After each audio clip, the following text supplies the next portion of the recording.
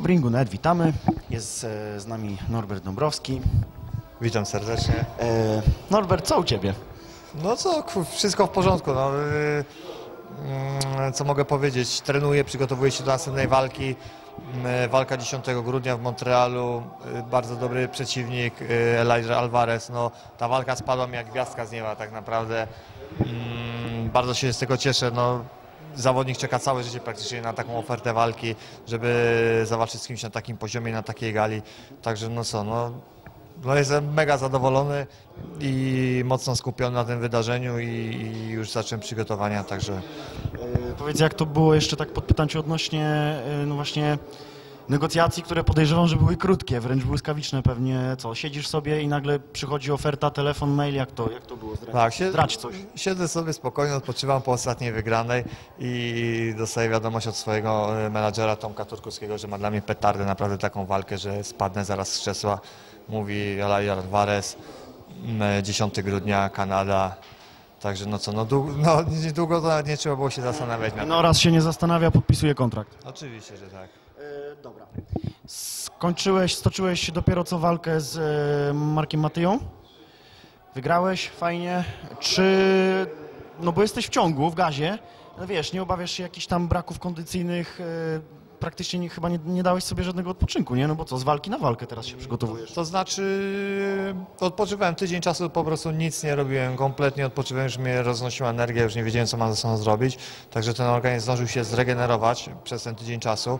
Yy, I co? I ja jestem takim zawodnikiem, już zresztą mówiłem wcześniej w różnych wywiadach, że lubię często boksować. Po prostu jestem w takim reżimie treningowym, tydzień przerwy, po prostu takiego relaksu, odpoczynku dla zregenerowania się. Następnie po prostu wchodzimy w treningi, jest ułożony plan treningowy. Także czuję się, mam takie przeczucie, czuję to i wiem o tym, że do tej walki będę najlepiej przygotowany w tym roku. Jakie atuty masz ty na Alvareza?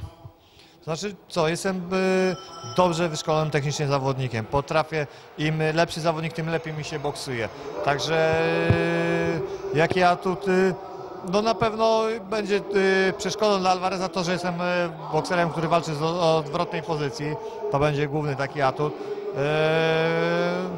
I co? Nie chcę tu mówić o żadnych atutach czy takiego. Po prostu wychodzę skoncentrowany do tego pojedynku i chcę wygrać ten pojedynek.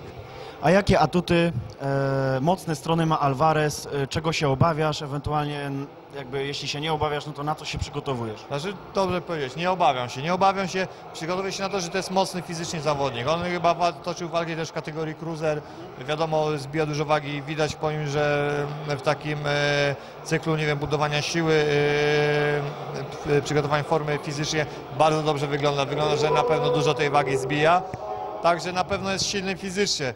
Jest, ma szybką lewą rękę, dynamiczny, no co, no wszystko się okaże w ringu. Nie walczyłem z nim, nie wiem czego się mogę spodziewać.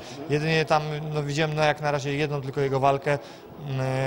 Yy, walk zajmuje się mój trener, analizowaniem tego. Yy, mój trener Krzyżof Drzazgowski analizuje jego walki, także on yy, szykuje taktykę i ufam mu po prostu, jeżeli on zadecyduje, że walczymy tak, to będę walczył tak, jeżeli inaczej, no to inaczej. No właśnie tak nie chciałem podpowiadać, ale według mnie jego atutem będzie siła. E, no chyba defensywa będzie praco- opracowywana na treningach.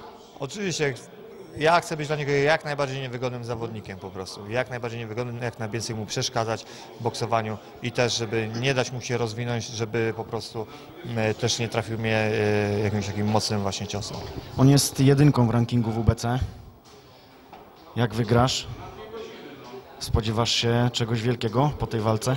Oczywiście, jeżeli wygram, a wiem, że wygram, wierzę bardzo mocno w to, wierzę, że wygram, no to to już jest spełnienie marzeń, praktycznie wskakuje na sam szczyt. To jest walka życia. Mm, śmieję się, że takie walki no, w filmach się, w ogóle takie, taka historia się dzieje w filmach. E, mi się to przytrafiło i mam, e, to jest e, szansa, którą mam zamiar wykorzystać.